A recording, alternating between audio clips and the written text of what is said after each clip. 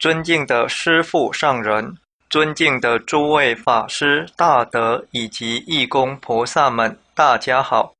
大惭愧弟子上官今天汇报的主题是：净土当机者，一切善恶大小凡愚也。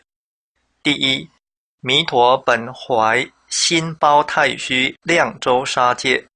首先。不孝弟子上官向师父上人和大家真诚忏悔。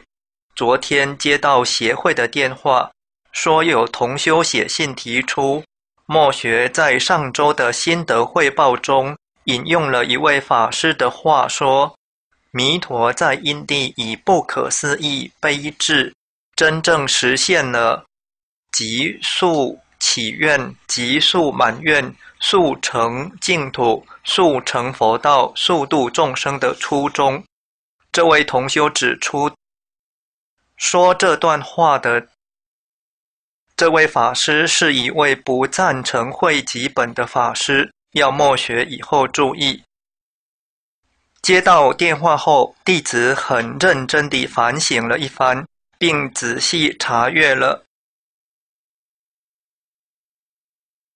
确实，呃。曾提出要以原译本为主，汇集本为辅等言论，特在此忏悔如下：弟子智慧浅显，没有在引用论述前调查清楚，实属不妥。以后弟子将尽量引用古大德的论述注解，以避免给同修造成不便。在此忏悔，令大家都不再因此生疑问。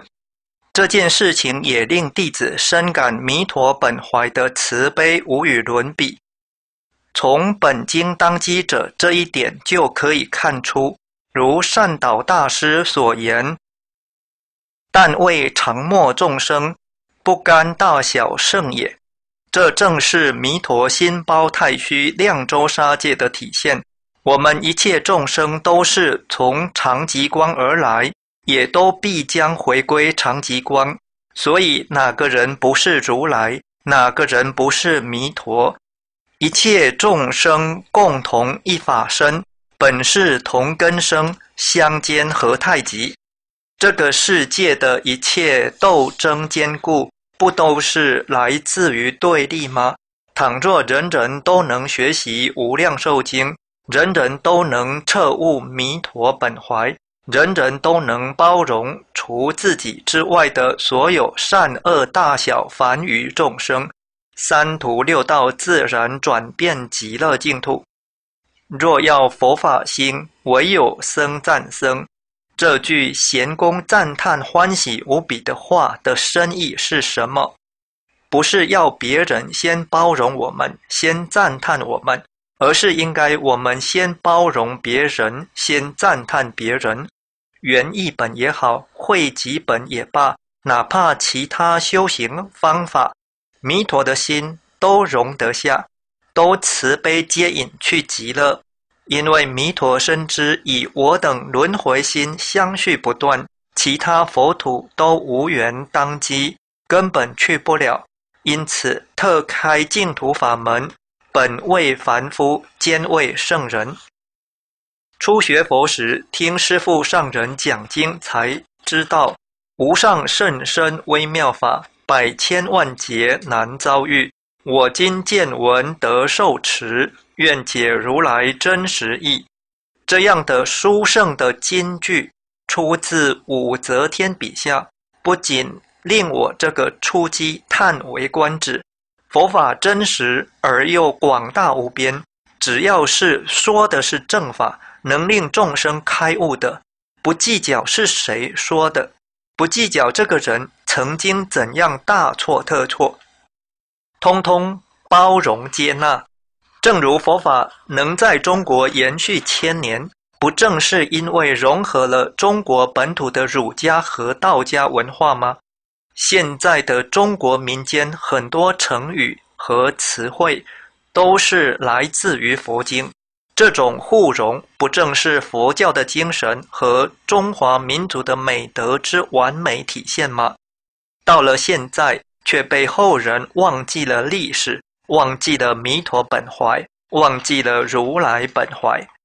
习主席在中法建交五十周年纪念大会上发表的讲话，其中有一段话是这样说的：“佛教产生于古代印度。”但传入中国后，经过长期演化，佛教同中国儒家文化和道家文化融合发展，最后形成了具有中国特色的佛教文化，给中国的宗教信仰、哲学观念、文学艺术、礼仪习俗等留下了深刻影响。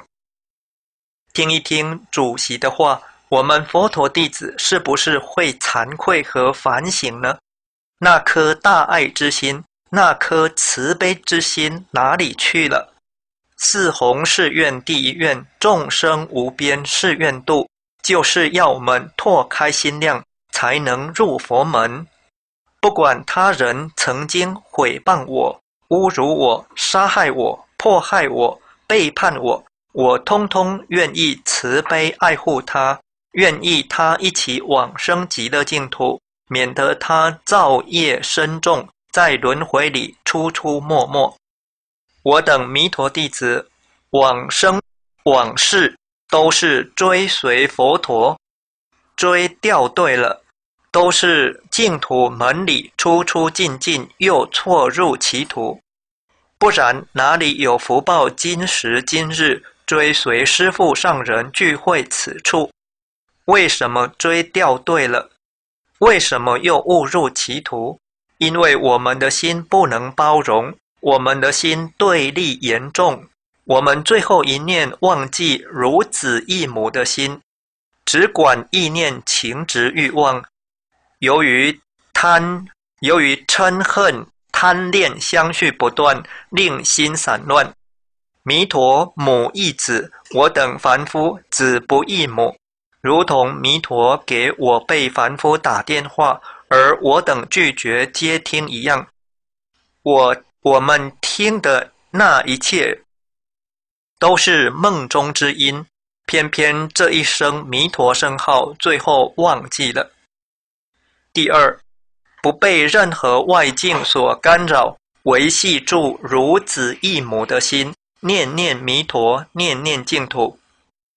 弟子儿时想要出家，母亲对弟子说：“古人听雨打芭蕉能开悟，你太笨，出不了家。”母亲的戏言，弟子却当真了。北方芭蕉叶子少，小时候就经常去听滴水穿石的声音，听了那无数次也没开悟，以为这一生就浑浑噩噩度过了。没想到遇到弥陀和净土，再也不怕不成器。只要信愿行，我就是净土之器。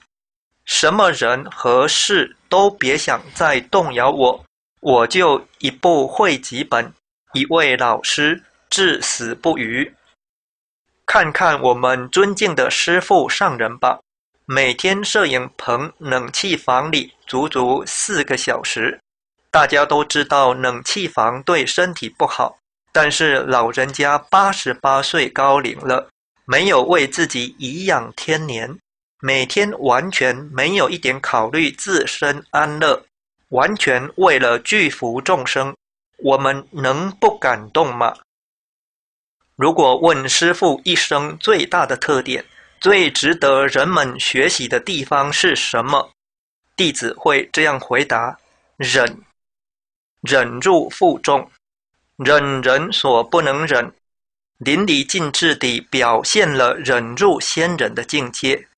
忍的本怀就是师父他老人家的心和弥陀的心一样，心包太虚，量周杀戒；而本怀的因就是知道一切众生是一体，弥陀大愿据此建立极乐世界。本师据此度化众生，不疲不厌，学习弥陀之本怀，做净土之法器，担当如来之家业，人人有责，从我做起。以上是大惭愧弟子上官的学习报告，错误之处还请师父上人慈悲指正。大惭愧弟子上官顶礼感恩。二零一四年四月二十三日，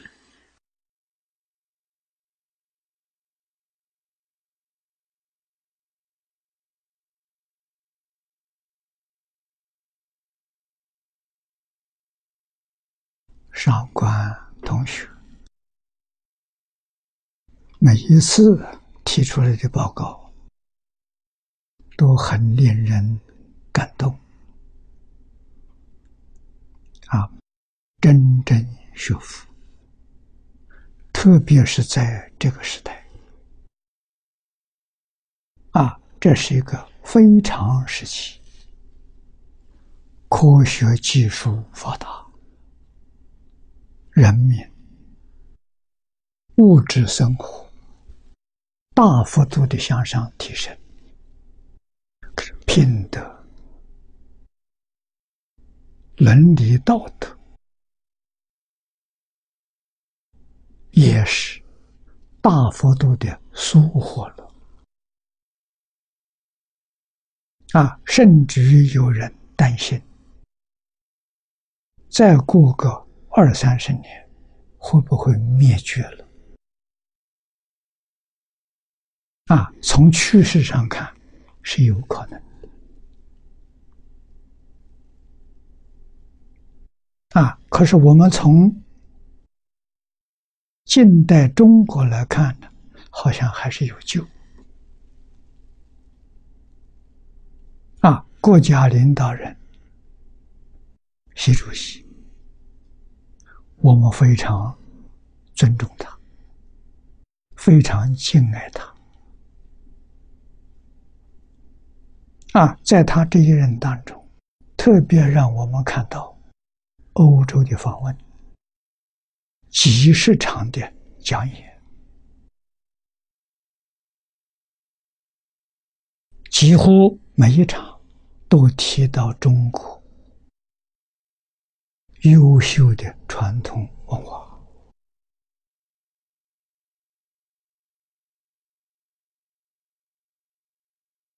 啊，在当前这个形势，确实要有大国的领导人来提倡伦理、道德、因果、圣贤教育，才能救国家，才能救世界。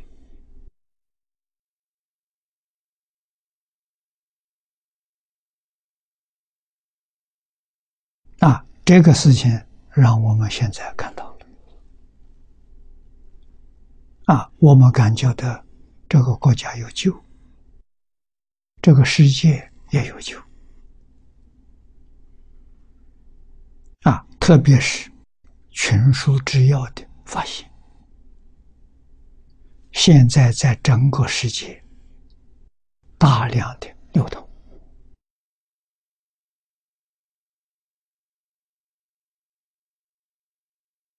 啊，这一桩事情，我相信将来还是中国牵头，啊，来带头，把这部书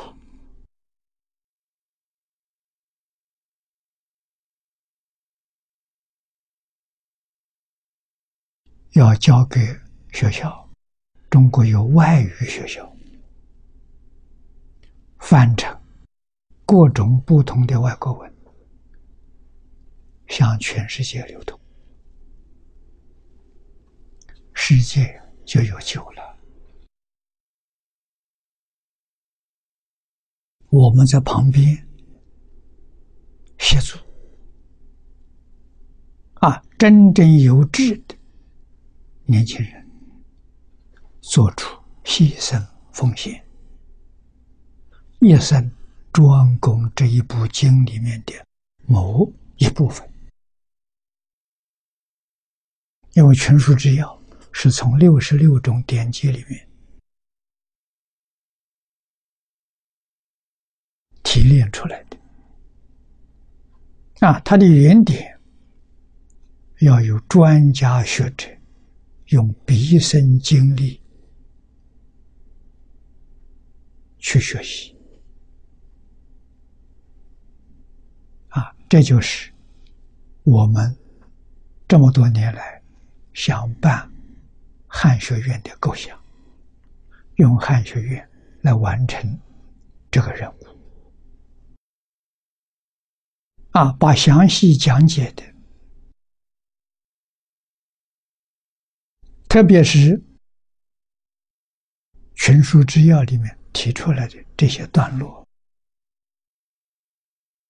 啊，翻成外国文字，向全世界流通。啊，这是我们真正帮助习主席。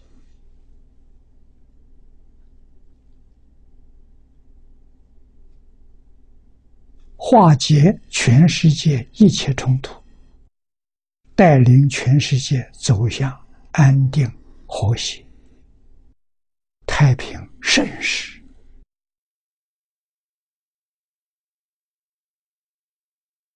这一个目标啊，迈进。啊，我年岁大了，心有余而力不足，希望年轻的同学们。认真努力，啊，这是历史上最伟大的事业，啊，再没有比这个更伟大了。